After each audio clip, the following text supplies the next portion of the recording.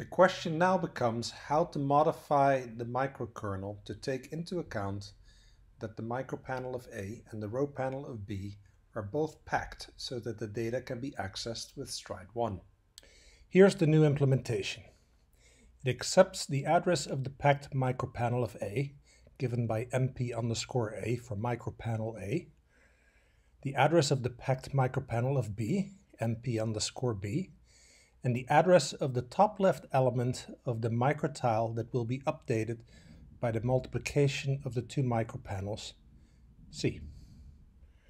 This particular implementation assumes that MR is equal to NR is equal to 4.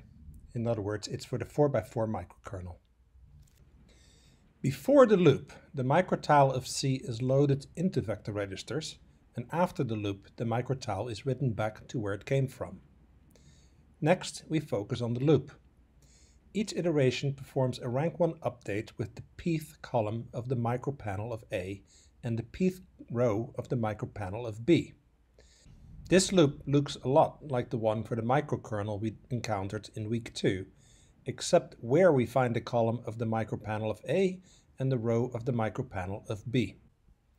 First, we load a vector register with the first row of the micropanel of A addressed by mp underscore a.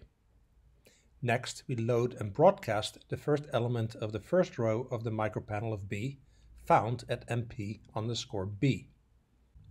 We use this data to update the first column of the microtile. Now we load and broadcast the second element of the first row of the micropanel of B. Its address is mp underscore b plus 1. By addressing it as mp underscore b plus 1, the pointer that tracks data in the micropanel of B needs not be updated yet, which reduces overhead. The data at mp underscore b plus 1 can be addressed with an instruction that uses indirect addressing, which makes retrieving it cheaper than it would be if the address is updated and then the data at that address is accessed. Once broadcast, the second column of the microtile is updated. Similarly, we update the third and fourth column of the microtile.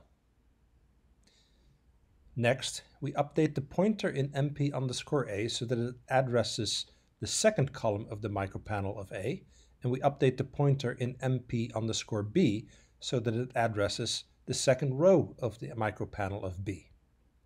We then continue with p equals 1